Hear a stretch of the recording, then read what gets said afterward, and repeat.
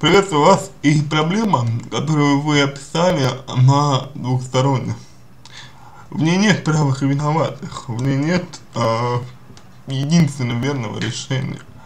На самом деле, если э, вы хотели помириться с молодым человеком, и если молодой человек хотел помириться с вами, то, конечно же, э, странным выглядит его, э, ну, его перегар, его э, состояние опьянения, и совершенно нормально, что вы не м, дали терпеть это, ведь вам не нравится подобное.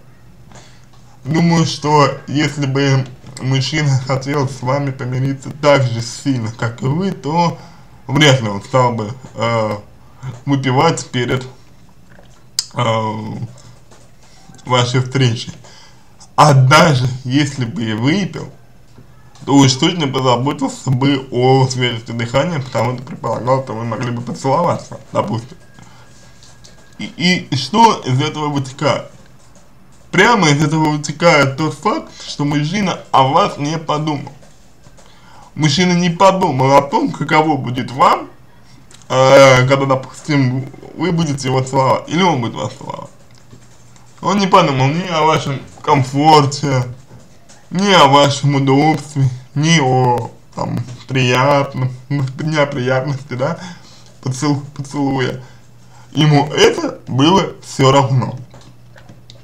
И это означает, что желание помириться с вами у него было меньше, чем у вас. Таким образом, можно сделать, в принципе, вывод о том, что, э, так, значит, после долгой разлуки, а вот причина разлуки – причина того, что вы расстались, она не ушла. То есть, конечно, может быть, это не была именно эта причина, но факт тот, что мужчина не, не был настроен на то, чтобы восстанавливать отношения, а это значит, что первоначально условия, первоначальное обстоятельство того, почему вы расстались, не исчезло, и по прохождению времени а, оно бы дало себе знать вновь, оно бы э, вновь начало бы влиять на ваши отношения, и вы, скорее всего, бы вновь расстали. Потому что если человек, еще раз повторю, скучает по своей второй половинке, то он делает все, чтобы ей было хорошо. Мужчина этого не сделал не сделал на первых встречах, соответственно, вряд ли сделал бы и потом.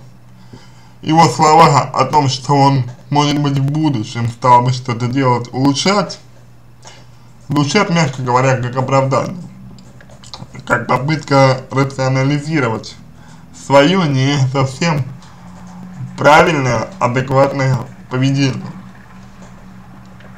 И поэтому вы здесь поступили совершенно верно. Но, а, что я хочу сказать. Вместе с тем, что вы вот так вот сразу сказали мужчине, что вам не нравится после встречи, вместе с тем, иногда нужно проявлять мягкость.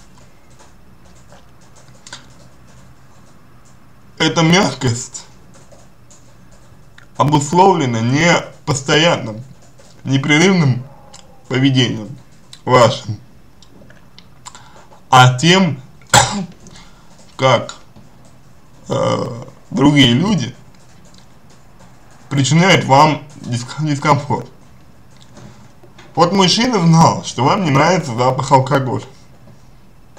И все равно а, этим пренебрег. Здесь проявлять мягкость было бы слабостью.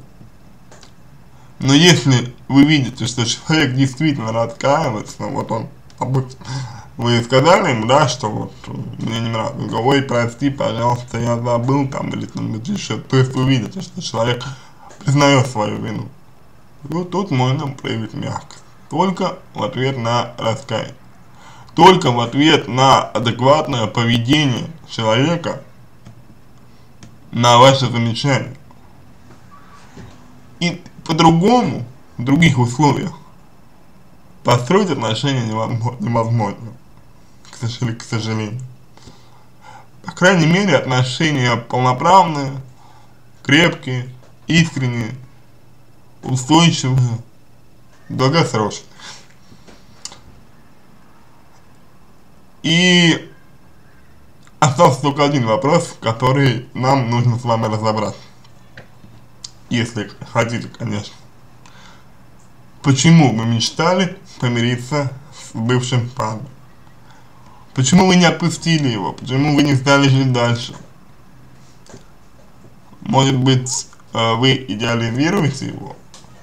Может быть, до конца не отпустили отношения с ним, надеялись на то, что он изменится, станет лучше? Вам без него было плохо. Если вам без него было плохо, то необходимо вот это состояние рассмотреть подробнее, понять, что вам мужчина дает, почему вы стремитесь к нему. И если это что-то не связанное с личными отношениями, то постараться добиться самостоятельно подобного. Так вы обретете свободу от него и не будете зависеть от мужчины, не будете наступать раз за разом на одни и, те же грабли. На этом все. Надеюсь, что помог вам. Если какие-то вопросы остались, обращайтесь в личку. Помогу.